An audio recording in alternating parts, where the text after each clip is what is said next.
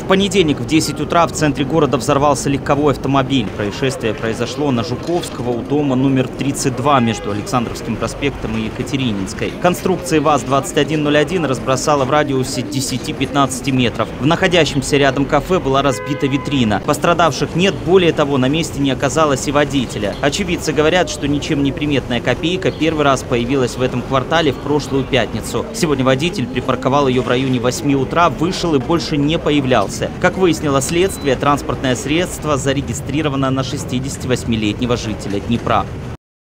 Подметало вот здесь, и только ушел сюда в сторону, и оно взорвалось. Пошел взрыв вверх, сюда, и большая часть туда, в ту сторону пошла. Это целенаправленно, кто-то на пульте взял ее, подъехал, это вот взял, взорвал и все. Но людей не было. Не было Не было. водителя, не было никого, машина пустая была. Я подумал вначале, что баллон газа. Где-то проводка, что-то вот. подумали. Но потом посмотрел, что не, баллон газа так не равнял. Момент, просто факел, моментальный.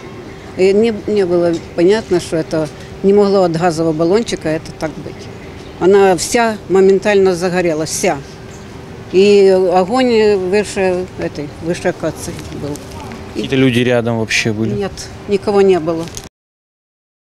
Свою очередь специалисты взрывотехники установили точное место взрыва – заднее левое пассажирское место. Автомобиль загорелся после срабатывания взрывного устройства. Тротиловый эквивалент взорванного снаряда 600 граммов. Тип вещества выясняется. В теперішній час вирішується питання про внесення відомостей до єдиного реєстру досудових розслідувань за попередньою правовою кваліфікацією кримінального правопорушення, передбаченого частиною 2 статті 194 Кримінального кодексу України. Це умисне знищення або пошкодження майна. Спеціалісти вибухотехнічного управління продовжують свою роботу на місці вибуху.